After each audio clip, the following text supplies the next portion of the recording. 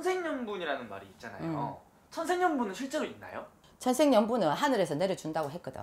네. 솔직히. 근데 이제 이 각기 다른 환경에서 살았어. 근데 나 자신의 인생을 살다가 둘이 된다는 건 쉽지가 않아. 음, 맞잖아, 그쵸. 그지? 근데 의견 충돌도 생길 수도 있고 서로의 주장만 내세운다면 매번 다투겠지, 그지? 네. 근데 천생연분은 아까도 얘기했지만 하늘에서 맺어줘야 되고 네. 그리고 하늘에서 맺어주는 것도 있지만 인간에서 서, 서로 배려를 하고 참을 인자를 새기고 나보다는 상대방을 더 배려해준다 싸울 일 있겠나? 없죠. 그잖아. 나는 딱 천생연분이 딱 이거라고 말은 못 짓겠고 서로가 나랑 이 사람이 서로 잘 맞았을 적에 나는 그게 천생연분이라고 생각해. 그럼 그런 천생연분이라든지 음. 나랑 나중에 뭐 결혼하게 될 음. 이런 운명의 짝을 만났을 때 응. 나타나는 뭐 징조 아니면 뭐 현상 뭐 음. 이런 게 있나요? 첫눈에 느낌이 확 오지. 다른 사람은 눈에 아무도 안 들어와. 그 사람 이쁘게 보이고 멋있어 보이고 다른 사람들이 이때 아무리 말려도 있잖아. 그 사람들 마- 말리는 게 귀에 안 들어와. 그래서 첫눈에 느낌이 확 온다는 거지. 직감이 탁 온다는 거지. 근데 여기서 잠깐 또 직감이 약간 무딘 사람 있잖아. 아무리 쳐다봐봐라. 아우라도 안 보이고 아무것도 안 보인다. 그쵸? 그러니까. 네. 그러면은 뭐 같이 이렇게 뭐 말하면 마음이 잘 맞는다든지 같이 있으면 되게 막 편안하다든지 응. 이런 것도 어떻게 보면 그런 징조 그런 게 될 수 있나요? 그렇지. 근데 자 우리가 어 이제 서로 짝을 만났을 적에 결혼하기 전에 궁합을 보시는 분들 있잖아, 그지? 안 보시는 분들 있지만 네. 뭐 보시는 분들 많아. 이게 보면 궁합이 아주 좋다고 해서 백년으로 하는 것도 아니고 궁합이 뭐 별론데도 있잖아. 백년으로 하고 잘 사시는 분들도 많아. 맞아요. 어? 근데 궁합을 볼 때 다른 분- 선생님도 모르겠다. 나는 원진 살은 결혼 권하지 않아. 왜냐면 이 살은 있잖아. 뭐 굿으로도 뭐 어떤 것으로도 풀릴 수 없어. 눌러줄 수는 있지. 잠시. 근데 매년마다 그러면 뭐 싸우고 찌지고 볶을 때마다 누를 거야?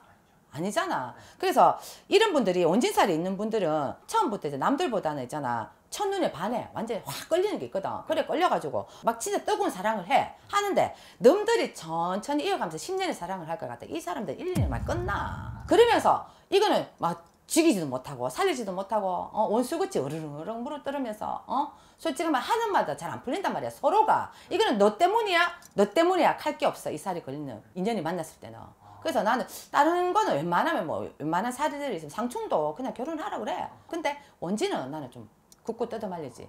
왜? 내가 경험자니까 나도. 원진에 있는 사람을 만나가지고 신라 막 백년에 어 백년 못했잖아. 아, 아이고. 어 이건 뭐 아시는 분 다 아시니까 뭐뭐 부끄러운 거 아니니까 말씀드립니다. 다들 몰랐었는데 아니 괜찮아 알아도. 뭐. 혹시 그러면 이 원진살이 있는 사람들의 좀 음. 공통적인 특징은 응. 좀 짧은 연애를 좀 반복하는 사람들인가요? 그렇지. 그러니까 불은 붙어 금방 불 붙어 막 어디를 가든 같이 가고 싶고 같이 있고 싶고 막 그런데 얼마 안 갔다가 이제 보이기 시작하는 거지. 막 어 밑가시로 죽는 거지. 그래서 막 나가가지고 뭐 저기 어떤 저기 넘핑계를 대는 거야. 근데 그게 다 돌아보니까 따지고 보면 그 살들로 인해서 일어나는 것들이기 때문에 내가 저 사람 때문이다. 내가 네 때문에 내 때문에 할 이유가 없다는 거지. 그리고 또 이것도 궁금했어요. 막 첫눈에 반한다 막 이런 음. 말이 있잖아요. 응. 그런 첫눈에 반한 사람은 운명인가요, 선생님? 아 그래. 그것도 있잖아 나는. 어? 왜? 첫눈에 반한다고 해갖고 나는 그게 다 운명이라고 보지는 않거든. 저 같은 경우는 그냥 이쁜 사람만 보면 다 첫눈에 반하거든요. 그러니까 아니 안 되는 거야. 자 이거는 내가 이제 우리 신도들 중에도 경험이고 내가 이제 지금까지 이 세월 동안 이제 손님을 상담하면서 이제 받는 경험이라면 이제 이미 있잖아. 나는 그 사람들 첫눈에 반해서 있잖아. 그 사람과 인연을 가졌어. 가지고 수- 심지어 이제 결혼하신 분들도 계시잖아. 근데 이분들을 일단 만났다고 해서 헤어졌었어. 헤어졌는데 다른 사람도 만나보고 다 만나봤는데 그 사람이 생각이 나. 이 질문도 나한테 하려고 그랬지. 그쵸, 그쵸, 그쵸. 세- 생각이 나. 생각이 나는데 다시 만나 만약에 아 생각이 나 도저히 안 되겠어. 이 사람 만나야 되겠어. 근데 만나면 별 볼 일 없어. 한 번 깨진 쪽박이 물 안 새나. 다시 붙인다고 해갖고. 만약에 이 사람과의 내가 이루어지 사람이다. 언젠가는 만날 사람이다. 필연이다. 인연이다 하는 사람은 세월이 몇 년의 세월이 흘러도 그 사람은 그 사람 인생을 살다가 나는 내 인생을 살다가 나도 딴 사람 만나고 헤어져 보고 찢어져 보고 해다가 그, 그 사람들 경험을 다 해보고 아파보고 다시 만났을 적에는 이 사람들을 만났을 때는 나는 이 사람들이 진짜 필연이라고. 아, 음. 이제 그럼 마지막으로 만약에 어, 어떤 사람을 만났는데 음. 이런 현상들이 일어난다면 이런 사람을 놓치지 마라 음. 하는 그런 것도 있나요?